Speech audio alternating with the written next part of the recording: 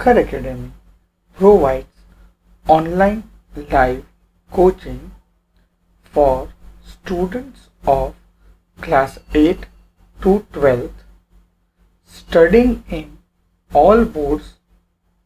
We are based at Ahmedabad, Gujarat.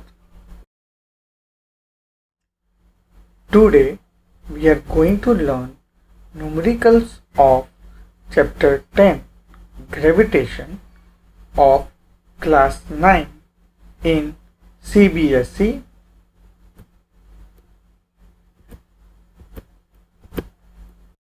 Example 10.5 An object weighs 10 Newton when measured on the surface of the earth.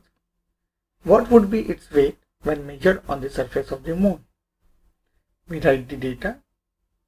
Weight of the object on earth is equal to WE which is equal to 10 Newton.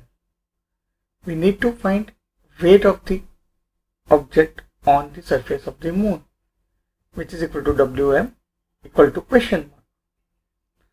Now we apply the relation between weight of the object on the moon and weight of the object on the earth which is equivalent to Wm is equal to 1 by 6 We. We substitute the value.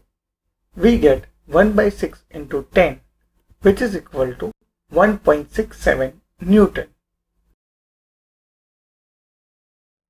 If you like our content, please like and share our videos. Also, subscribe our channel Omkar Academy. Thank you.